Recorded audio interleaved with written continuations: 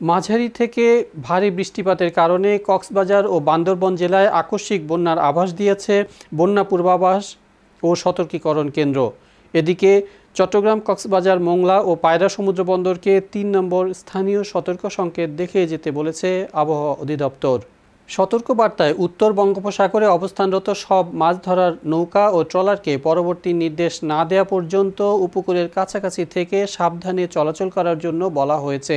উত্তর পশ্চিম বঙ্গোপসাগর এবং কাছাকাছি উপকূলীয় এলাকায় একটি লঘুচাপ সৃষ্টি হয়েছে। ফলে উত্তর বঙ্গোপসাগর ও তৎসংলগ্ন বাংলাদেশ উপকূলীয় এলাকায় গভীর সঞ্চরণশীল মেঘমালা সৃষ্টি হচ্ছে।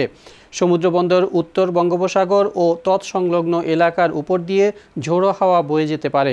দেশের দক্ষিণ পশ্চিমাঞ্চলীয় জেলা কক্সবাজার ও বান্দরবনে এবং তৎসংলগ্ন অঞ্চলে মাঝারি থেকে ভারী বৃষ্টিপাত হতে পারে।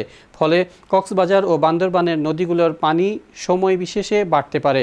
এতে করে কোথাও কোথাও আকস্মিক বন্যা হতে পারে।